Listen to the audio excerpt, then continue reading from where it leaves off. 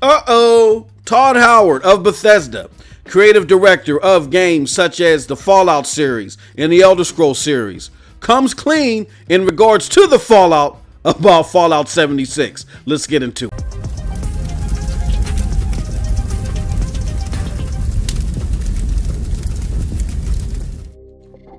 What's up, peoples? It's your boy MM2K back again with another one. Hey, yo, can you do me a huge favor? Can you hit that like button, hit that subscribe button, and rock those bells for notifications, please, so you know when your boy's dropping these doses. I appreciate all of y'all straight up. All right, peoples, let's talk about it. Your boy Ryan McCaffrey did an interview with Todd Howard, creative director of the Fallout series and the Elder Scrolls series on his limited um, IGN series. It's called Unfiltered, um, where he does interviews with different uh, famous folk within the, the, the, gaming community. Now, for those of you who don't know who Todd Howard is, I mean, you've been living under a rock for the last, you know, 15, 20 years. Todd Howard is the creative director of the Fallout and Elder Scrolls series again. Um, Todd is the recipient of numerous awards, which include just recently the Lifetime Achievement Award in 2016, the Hall of Fame Award from DICE in 2017, and just last year, the same year that Fallout 76 released, he received the Game Lab Game Lab Legend Award. All right, Fallout 76 dropped last year to very poor reception critically. Um, it received the Metacritic in the low 50s when you average um, all the scores for PlayStation 4, Xbox, and PC. And uh, Ryan and Todd talk about this in that unfiltered interview releasing June 4th, 2019. So here are my takeaways from this uh, this snippet that was released so far of that whole interview. I do think Todd feed, tries to feed us a little baloney, you know, at the beginning of this whole segment talking about Fallout 76. But afterwards, I do think he's very transparent and honest in some ways.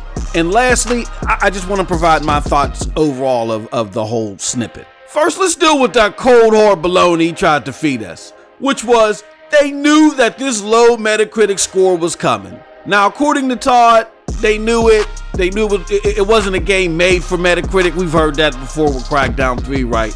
Um, but here's here's the thing, y'all. They may have known with the trends of games as a service titles as of late how they've been hammered, but they didn't anticipate Metacritic in the 50s. Um, and if they would have knew that the Metacritic would have been so low, believe you me, they would have either held it back for more enhancements or tried to release it in another way, repurpose it, or reintroduce it to the community in another way.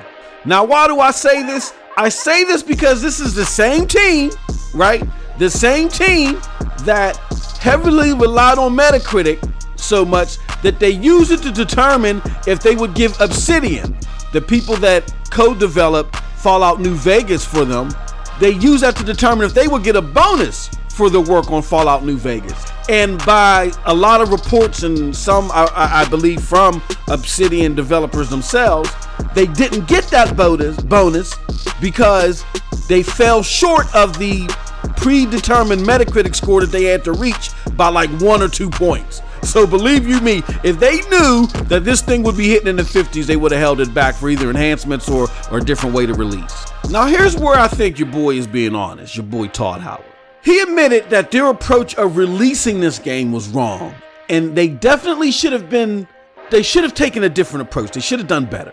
Him and uh, Ryan McCaffrey bounce back and forth, maybe a game preview, and then Todd threw in there as well. You know, I, I guess in reflection, what they should have done is had this game release as a free beta to anybody that purchased Fallout 4.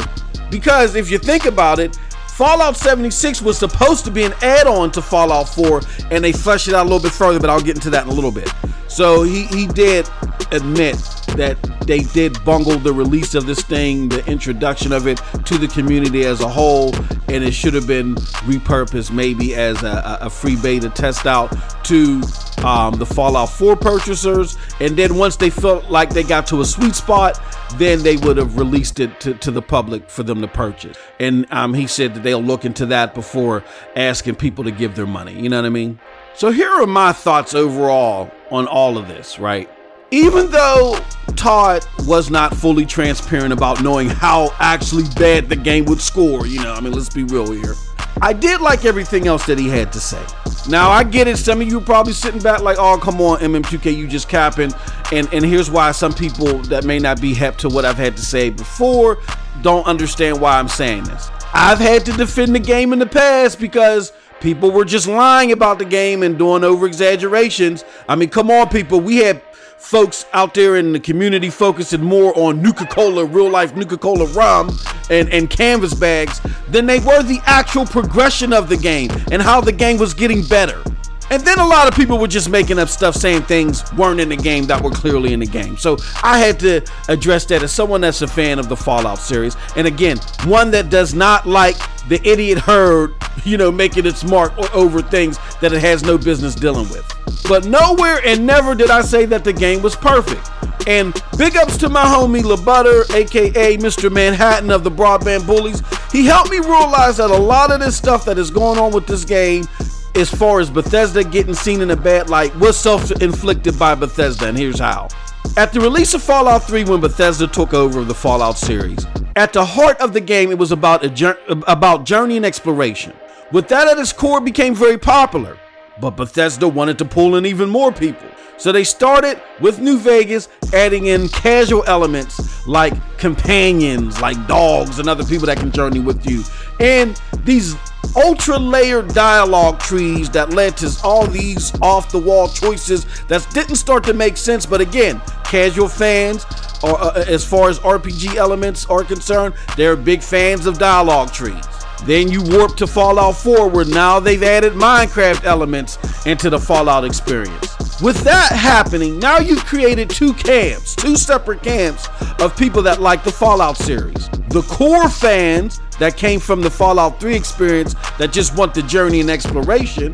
And these people also want that same journey and exploration every three years. And those that are fancy on the add-ons, the companions and the super complicated dialogue trees like like puzzles and all this other stuff. You've created two camps like I said.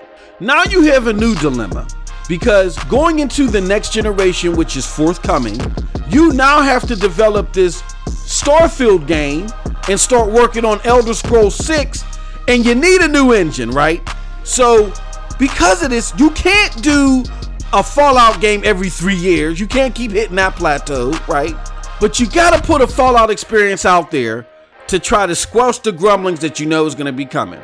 And and by doing so, you decide to take this add-on that was to be the Fallout 4, which is this co-op multiplayer experience, and you decide to make a full-fledged game out of that. That will in turn give you time to do what you need to do as far as building a whole new engine for this Starfield game and for Elder Scrolls 6 while calming the nerves of the people that are going to whine and cry for a new Fallout experience. Problem is, this Fallout 76 experience is going to lack some of the components that the casual people want. You know what I'm saying? They're not going to really get the companions that they really like. And most importantly, this, these dialogue trees and these NPCs, they're not going to be present within the game. I mean, you tell them that, but it just doesn't hit home until they get it in their hands. And once they get it in their hands, they go berserk.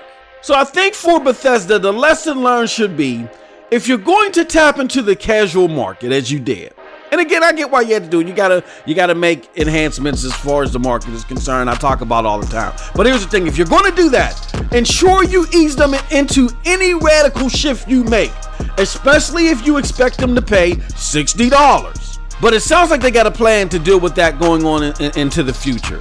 I like Todd's idea of featuring longer and community engaging betas or like game previews to help with this process. You know what I'm saying? That way it won't look like that they're money grubbing. You know what I'm saying? That they're easing the casuals into this.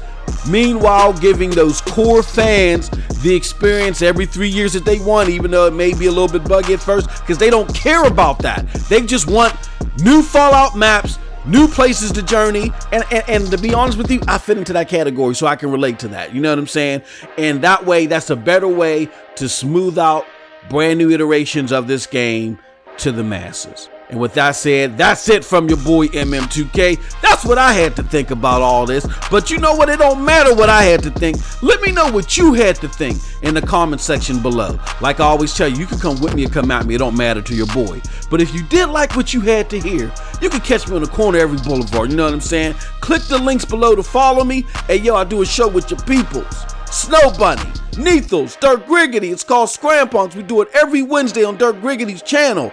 Look up hashtag Scrampunks for more information on that. And last but not least, follow my brethren, the Broadband Bullies. We doing the damn thing out here. Check out that Discord link. We be cutting it up in there, man. Check out that Patreon link. Hey, we can't do this without your support.